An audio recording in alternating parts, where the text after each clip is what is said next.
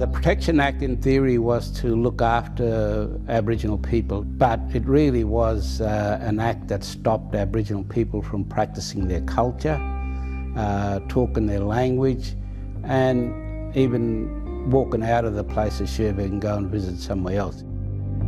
We knew we weren't allowed to go into Murgon, uh, and so we knew that we weren't allowed down this end of town.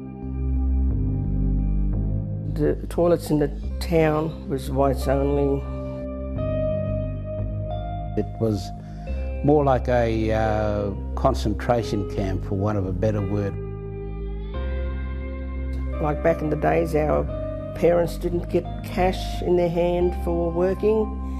It was uh, you go down to the ration shed and you'd get your supply of your flour, sugar, tea.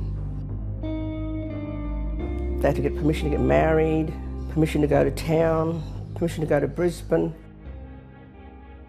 At the beginning, I thought it was because the government was looking after us. That's why we were restricted. But then as you got older and you, you learn about the outside world and what's happening out there and all the opportunities out there, you sort of get a bit angry.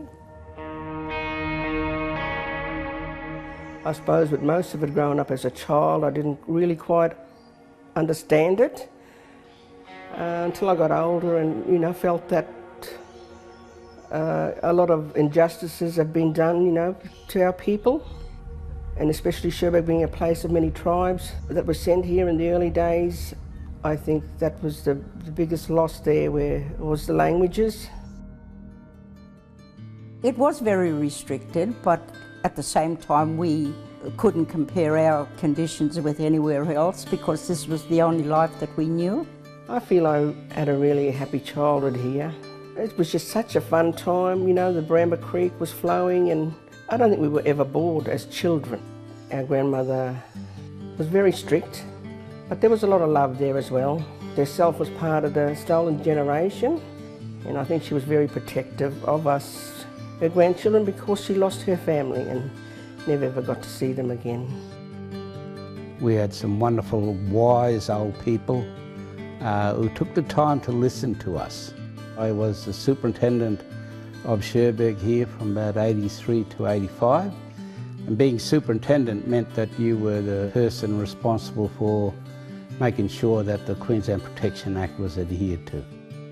I came in, into it at the time when we wanted to change it. And then we changed it in 1986 so that each of these communities now are Shire councils within their own rights. I think Cherbourg today is, is, is a way uh, different place to what it was back in the early 1950s. The younger ones are more outspoken than I ever was, so and I applaud them for that.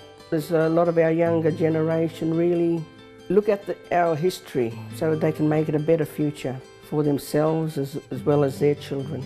I think we have the freedom today to determine what we want for this community. And I think if we do it in the right way and if we do it in a cultural way, then everybody will benefit.